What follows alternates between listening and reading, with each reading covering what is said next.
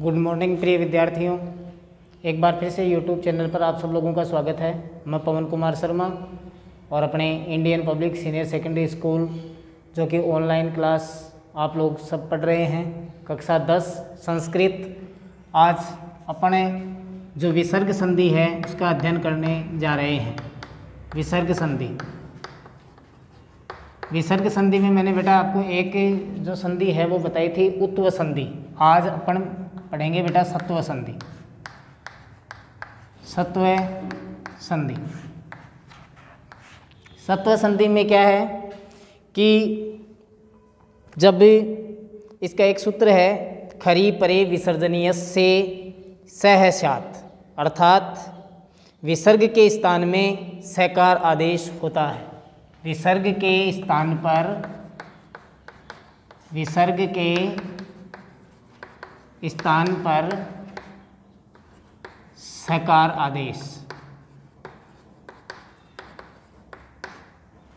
विसर्ग के बाद में जब कुछ शब्द हैं जिनके आने पर विसर्ग का स हो जाता है तो किस प्रकार से आपको करना है? देखिए, विष्णु, सबसे पहले आप एक इसका नियम है वो आप लिखें, यदि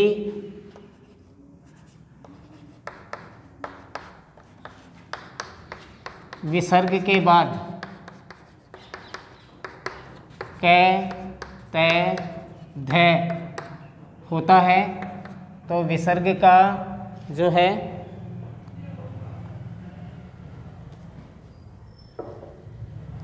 स कर देते हैं। तो एक तो ये इसमें सकार आदेश है। एक इसमें है बेटा, च, छ, अगर वर्ण होता है तो इसके अंदर सकार आदेश होता है। और एक इसमें तय और ठ तो इसमें बेटा सकार आदेश होता है। तो किस प्रकार से आप इसको करेंगे, देखिए, अपना पहला जो उदाहरण है, नमः है प्लस ते तो जब तय आता है तो आपको ये सकार आदेश करना है यहाँ पर देखिए। सकार तो विसर्ग का स हो जाएगा, हलंत होगा तो नमस्ते। इस प्रकार से जैसे विष्णु प्लस त्राता। विष्णु, विसर्ग के बाद में तय आया है बेटा। विसर्ग के बाद में तय आया है तो आप किस प्रकार से करेंगे? यही आपका स होगा फिर से। विष्णु और सकार आदेश है तो कहते है। तो विष्णु स्त्राता। इस प्रकार से कर देंगे। विसर्ग का लोप हो जाएगा और विसर्ग का स हो जाएगा। जैसे धनु प्लस टंकार है। तो विसर्ग के बाद में ट आया है तो वो स हो जाएगा। देखिए उधर, ये स धनु, टंकार। ये हलंत होगा। धनुष टंकार है। अगला देखिए राम है प्लस च राम है प्लस च तो च में देखिए कौन सा सकार है? ये स तो यहाँ पर देखिए राम है। विसर्ग का स हो जाएगा कौन सा? ये स हलंत तो रामस अगला है नी प्लस छल। तो नी प्लस छल, विसर्ग का फिर से हो जाएगा, निश्छल। यह आपका निश्छल। इस प्रकार से आपको उदाहरण करने हैं, और भी बहुत सारे इसके उदाहरण हैं, आप खुद कर सकते हैं। पुनः है प्लस च खुद बना सकते हैं आप। पुनः है प्लस च तो किस प्रकार से बनाएँगे? इस विसर्ग का स कर देंगे। तो पुनश्च अगला जो उदाहरण है, आप बना सकते हैं व्याकुल है प्लस चलित है। व्याकुल है प्लस चलित है। तो व्याकुल है प्लस चलित है विसर्ग के बाद में च आया है। तो इस विसर्ग का से कर देंगे। च आया तो कौन सा से करना है? ये सकार। तो ये व्याकुलस चलित है। इस प्रकार से कर देंगे। व्याकुलस चलित है। अगला देखिए कपोता प्लस तत्र उपविष्टा कपोता प्लस तत्र तत्र उपविष्टा तत्र उपविष्टा तो इस प्रकार से विसर्ग के बाद में तय आया है। तो आप खुद बना सकते हैं कौन सा स आएगा। तय के बाद में ये जो आपका स है, ये आएगा। कपोतास तत्र उपविष्टा तो ये स आप कर देंगे। अवलंबिता प्लस तम। अवलंबिता प्लस तम। तो यहाँ पर भी तय के बाद में, विसर्ग के बाद में तय आया है। तो कौन सा सह करना है? आप देख लीजिए। नियम मैंने उधर लिखा रखा है, यदि विसर्ग के बाद क तय ध आता है तो ये से करना है चय छ आता है तो ये से करना है टय ठ आता है तो ये सह करना है। इस प्रकार से आपको ये स्थिति समझनी है और यहाँ पर उदाहरण करने हैं। अगला जो उदाहरण है, देखिए, प्रतिकार है प्लस चिंतियाम। प्रतिकार है प्लस चिंतियाम। प्रतिकार्य है प्लस चिंतियाम। एक मिनट सॉरी प्रतिकार्य है प्लस चिंतियाम। ये हो गया आपका। प्रतिकार्य है प्लस चिंतयताम। चिंतयताम आएगा। चिंतयताम। इस प्रकार से करना है। विसर्ग के बाद में च आया है तो आपको देख लीजिए यहाँ कौन सा से करना है। विसर्ग के बाद में च आता है तो ये सकार करना है। ये सकार आदेश। तो आप इस से का सहारा लेंगे और बनाएँगे अगला उदाहरण है, ततः प्लस तेसु। ततः प्लस तेसु। ये हो गया आपका ततः प्लस तेसु। तो विसर्ग के बाद में ये तय आया है। और विसर्ग के बाद में जब ये तय आता है तो आपको कौन सा से करना है? देखो ततस्तेषु। इस प्रकार से ये से करना है हेलो आदेश। स आदेश। अगला है, भ्रांता प्लस संति। भ्रांता प्लस संति। तो किस प्रकार से करेंगे? इस विसर्ग के बाद में ये से आया है तो यही से हो जाएगा वापस। भ्रांता संति हो जाएगा। किस प्रकार से करेंगे? विसर्ग के पहले या बाद में तय आए। देखिए, भ्रांता। तो ये विसर्ग का ये से कर दिया और ये संति वैसा का वैसा। भ्रांता संति ही। इस प्रकार से कर देंगे। अगला है चिंतकई प्लस च। चिंतकई प्लस च। इस प्रकार से विसर्ग के बाद में च है, आप देख लीजिए। आगे हिमाद्रे प्लस चेव है। हिमाद्रे प्लस चेव तो किस प्रकार से विसर्ग के बाद में आपको करना है? जो है विसर्ग के बाद में च आया है। धन्या प्लस तू। धन्या प्लस तू। विसर्ग के बाद में तय है। तो यहाँ पर भी आप देख लीजिए। इस प्रकार से आपको उदाहरण बनाने हैं सत्व विधान संधि के। अगले आपके और उदाहरण हैं कुछ। आप कीजिए, जन्म भूमि प्लस च जन्म भूमि प्लस च अगला है, बहुत है प्लस सर्वदा। बहुत है प्लस सर्वदा। विसर्ग या विसर्ग से पहले तय हो, के बाद में या पहले तय हो तो यही से होगा सकार आदेश इस प्रकार से शिक्षणीय प्लस टू।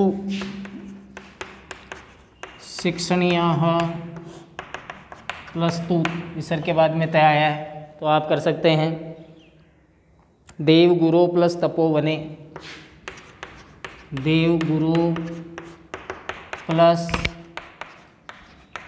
तपोवने तो इस प्रकार से बेटा आपको ये आपकी विसर्ग संधि, सत्व विधान संधि हल करनी है। और पाठ्य पुस्तक में जितने भी उदाहरण आए हैं, आप खुद अपनी होमवर्क की कॉपी में उतारेंगे और समझ करके उनको सही करेंगे। उत्व विधान संधि मैंने आपको बता दी, सत्व बता दी, आज अपन और पढ़ते हैं ऋत्व विधान संधि। ऋत्व विधान संधि में र आदेश होता है बेटा, विसर्ग का र हो जाता है। विसर्ग का र करना है आपको किस प्रकार से करेंगे, देखिए। विसर्ग का र करना है, इसमें एक सूत्र है, इचो असी विसर्ग से रेफ है। अर्थात विसर्ग ए या आ के अलावा जब कोई स्वर आता है विसर्ग के बाद में तो विसर्ग का र हो जाता है। परस से विसर्ग से असी परे रेफा देशो भवती। अर्थात स्वरे मृदु व्यंजने च, ए और आ के अलावा कोई भी स्वर आता है तो आपको विसर्ग का र आदेश करना है। यदि प्रथम पद के विसर्ग के पहले ए या आ के अलावा कोई भी स्वर होता है तो विसर्ग के बाद कोई स्वर या तीसरा, चौथा या पांचवा वर्ण होता है तो आपको र आदेश करना है। आप लिख लीजिए, विसर्ग ऋत्व विधान संधि। ऋत्व विधान या ऋत्व संधि एक ही बात है। इसका आप लिखिए, यदि विसर्ग के। यदि प्रथम पद के सॉरी यदि प्रथम पद के, यदि प्रथम पद के विसर्ग से पहले, प्रथम पद के विसर्ग के पहले, यदि प्रथम पद के विसर्ग के पहले ए या आ के अलावा। ए या आ के अतिरिक्त या अलावा। ए या आ के अतिरिक्त, कोई स्वर हो, कोई स्वर हो। यदि प्रथम पद के विसर्ग के पहले ए या आ के अतिरिक्त कोई स्वर हो, तथा विसर्ग के बाद कोई स्वर तथा विसर्ग के बाद कोई स्वर कोई स्वर या वर्ग का तीसरा चौथा, वर्ग का तीसरा चौथा या पांचवा वर्ण या पांचवा वर्ण या, ये, रे, ल, व और है। इनमें से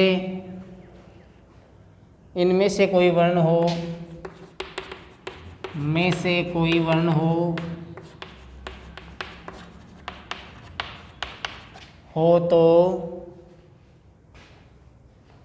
विसर्ग का र हो जाता है। विसर्ग का र हो जाता है।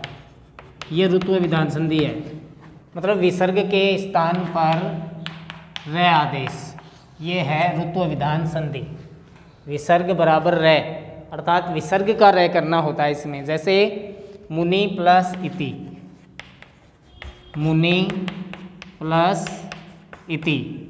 जैसे ए, ए और आ के अलावा कोई स्वर हो विसर्ग के बाद में तो ई आया यहाँ पर तो विसर्ग का रह हो जाएगा। कैसे? मुनि वैसा का वैसा रहेगा र आदेश हो जाएगा ई की मात्रा लगेगी तो मुनि रीति विसर्ग का र हो गया। मुनीर इति। अगला है भानु प्लस असु। भानु प्लस असौ। तो यहाँ पर भी भानु प्लस असो र आदेश हो जाएगा, विसर्ग का र हो जाएगा। किस प्रकार से करना है देखो, भानु के बाद में ऊ के बाद में, ए या आ के अलावा विसर्ग से पहले जो स्वर है ऊ इस विसर्ग का र हो जाएगा। तो किस प्रकार से करेंगे? भानु और र आदेश हो गया रह हलंत है, लेकिन ए आएगा तो पूरा हो जाएगा, और सो वैसा का वैसा, भानु रसौ। किस प्रकार से करेंगे? भानु रसो। हरि प्लस अयम। हरि प्लस अयम। विसर्ग से पहले ई आया है। तो रे आदेश होगा, हरी और ये रे हलंत है, लेकिन ए इसमें आएगा तो पूरा हो जाएगा, हरी रयम। इस प्रकार से आप इसको बना सकते हैं। ते प्लस आगतम। ते प्लस आगतम। तो किस प्रकार से करेंगे? विसर्ग से पहले आई है तो रे आदेश हो जाएगा, ये रे। तेरागतम, इस प्रकार से कर देंगे। तेरागतम। क्योंकि विसर्ग का र हो जाएगा, र के साथ आ जुड़ेगा तो रा हो जाएगा। तेरा गतम इस प्रकार से कर देंगे। धेनु प्लस गच्छति। धेनु प्लस गच्छति। किस प्रकार से करेंगे? देखिए, धेनु विसर्ग का रे कर देंगे। तो रे के साथ फिर कोई स्वर नहीं है तो रे हलंत रहेगा। हलंत हमेशा ऊपर लगाते हैं अपन। गच्छति, ऐसे कर देंगे। धेनुर गच्छति रे ऊपर चला जाएगा। एते प्लस बक्षितम किस प्रकार से करेंगे देखो। एते प्लस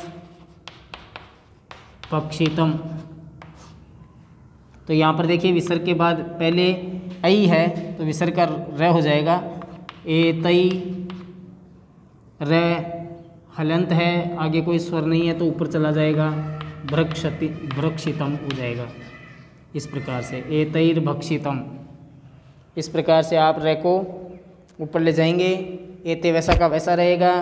तो इस प्रकार से आपके विसर्ग का रे करना है। आगे और कई उदाहरण हैं जिनको आप थोड़े लिखें। ऋत्व विधान संधि के। देखिए किस प्रकार से करने हैं। जैसे, पुनः है प्लस अत्र। पुनः है प्लस अत्र। इसमें एक अलग प्रकार की कंडीशन है। रेकारांत और संबोधन जो संबोधन संबंधी शब्द हैं, उनके विसर्ग का आकार और आकार से बाद भी रे आदेश होता है। जैसे पुनः प्लस अत्र।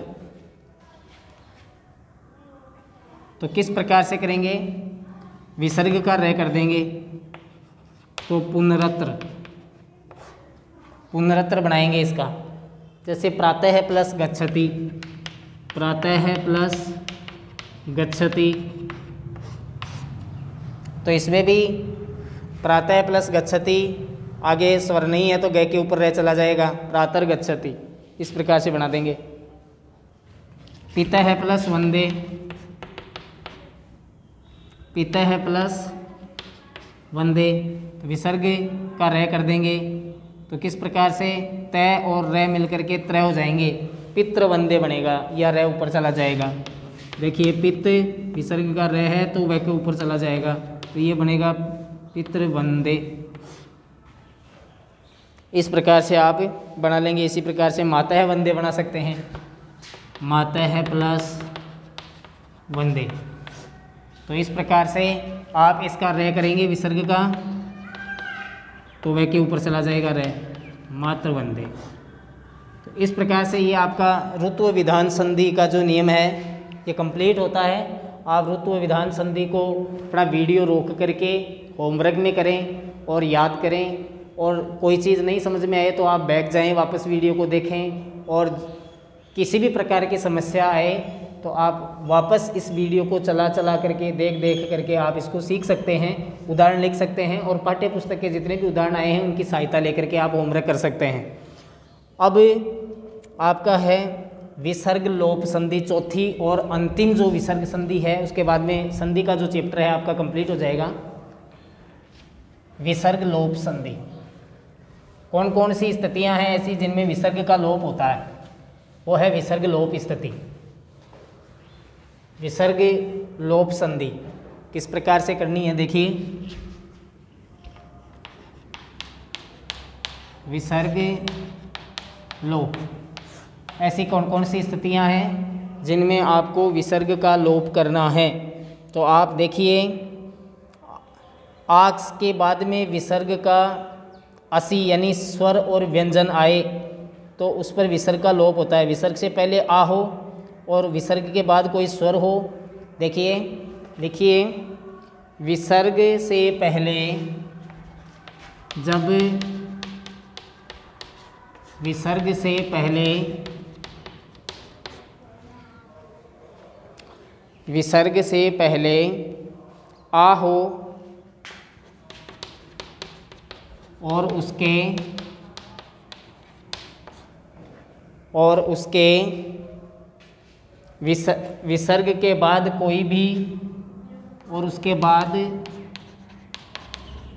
कोई भी स्वर हो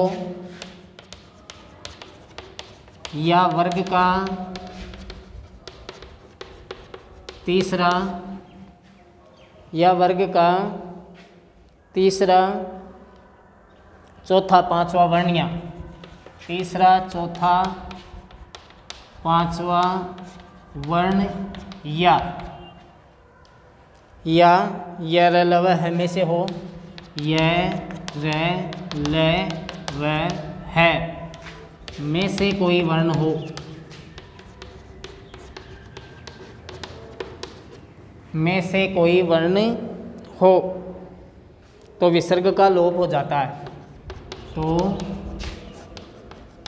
विसर्ग का लोप हो जाता है।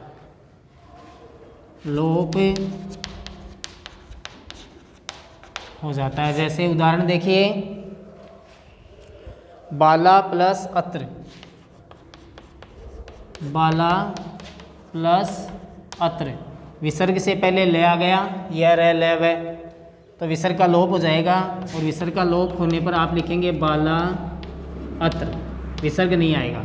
बाला अत्र। और संधि का नाम लिखेंगे विसर्ग लोप संधि। लता प्लस एधंते। लता प्लस एधंते। तो यहाँ पर देखिए, विसर्ग से पहले आ है। विसर्ग से पहले आ हो। देख लो वहाँ। विसर्ग से पहले आ हो तो विसर्ग से पहले लता में आ है तो विसर्ग का लोप हो जाएगा। लता और एधनते अलग अलग आएँगे दोनों। एक जोड़ करके नहीं लिखना है दोनों को, जोड़ करके लिखने पर गलत हो जाएगा। ये अलग अलग पद हैं दोनों, विसर्ग अठाने की स्थिति में दोनों अलग ही रहेंगे।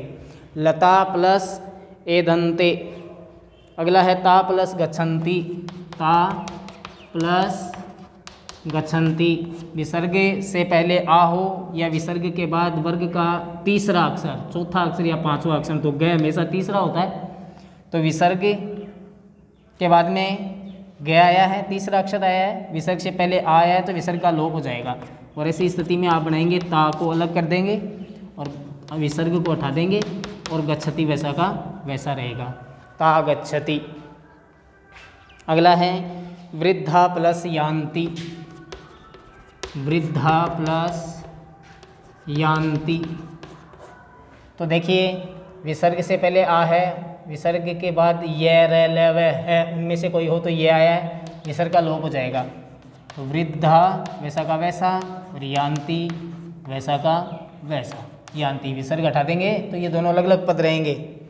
तो इस प्रकार से बेटा आपको विसर्ग हटाना है ऐसे कई उदाहरण हैं जो आप खुद कर सकते हैं। अब मैं आपको खुद को करने के लिए कुछ उदाहरण बता देता हूँ, जो आप खुद बनाएँगे और करेंगे। देखिए, आप खुद बना सकते हैं बाला प्लस हसंती। बाला प्लस हसंती विसर्ग के बाद यह लव है। तो ये है, आया है। विसर्ग से पहले आया है तो विसर्ग घट जाएगा। अगला है, अतः है प्लस एव। अतः है प्लस एव। शिव है प्लस इति। शिव है प्लस इति। विसर्ग घटेगा इनमें सब में। राम है प्लस आगच्छति। राम है प्लस आगच्छति। कृष्ण है प्लस एति। कृष्ण है प्लस एति। कृष्ण है प्लस एति, बाल है प्लस इच्छति। बाल है प्लस इच्छति। बाल है प्लस इच्छति, बुद्ध है प्लस इति। बुद्ध है प्लस इति। अगला है, अर्जुन है प्लस उवाच अर्जुन है प्लस उवाच राम है प्लस आगच्छति। राम है प्लस आगच्छति। विसर्ग घटेगा इनमें सब में, बाकी वैसा का वैसा आएगा, कृष्ण है प्लस एति। कृष्ण है प्लस एति। तो ये है आपकी विसर्ग लोप संधि। देखिए, संधि का जो चैप्टर है आपका कंप्लीट हो चुका है। आज के इस वीडियो में मैं आपको एक बार फिर से दोहरा देना चाहता हूँ। सबसे पहले अपन ने संधि पढ़ी, स्वर और व्यंजन का ज्ञान किया। स्वरों का पता होना बहुत ज़रूरी है। स्वर और व्यंजन क्या होते हैं? ते अपने बारह जो है, तेरह स्वर होते हैं। तेरह स्वर होते हैं संस्कृत में और तैंतीस व्यंजन होते हैं। जो है आठ बड़े स्वर होते हैं, पाँच छोटे स्वर होते हैं, तैंतीस व्यंजन होते हैं, जिनमें पच्चीस स्पर्श व्यंजन होते हैं, चार अंतस्थ व्यंजन होते हैं और चार उष्म व्यंजन होते हैं। इस प्रकार से अक्षय, त्रय गे ये संयुक्त अक्षर हैं, लेकिन अपने तैंतीस व्यंजन माने जाते हैं। इसके बाद मैंने आपको स्वर संधि बताई, स्वर संधि के भेद बताए, इसके बाद मैंने व्यंजन संधि बताई, व्यंजन संधि के भेद बताए, इसके बाद में मैंने विसर्ग संधि बताई आपको विसर्ग संधि के भेद बताए हैं, चार प्रकार के जो अभी अभी पढ़ने पड़े हैं, सत्व, उत्व, ऋतु और विसर्ग लोप संधि। तो इस प्रकार से आपकी संधि का जो चैप्टर है कंप्लीट हो चुका है। अब अगले वीडियो में अपन और व्याकरण का कोई दूसरा चैप्टर शुरू करेंगे। तब तक के लिए धन्यवाद। और मैं उम्मीद करता हूँ कि दसवीं क्लास के सभी विद्यार्थी ध्यान दे करके मेरे इस वीडियो को पढ़ रहे होंगे। और याद करेंगे होमवर्क की कॉपी में करेंगे। आपकी कॉपी कभी भी घर आकर के किसी भी अध्यापक द्वारा देखी जा सकती है। सतर्क रहें। कोविड नाइन्टीन के तहत जो ऑनलाइन पढ़ाई है, उसका आनंद लेते रहें, घर पर रहें, सुरक्षित रहें और इस ऑनलाइन अध्ययन का आनंद प्राप्त करें। धन्यवाद। आज के इस वीडियो में बस मैं इतना ही आपको पढ़ाऊँगा। बाकी जो है, आगे दूसरे वीडियो में अपन और पढ़ेंगे। थैंक्स।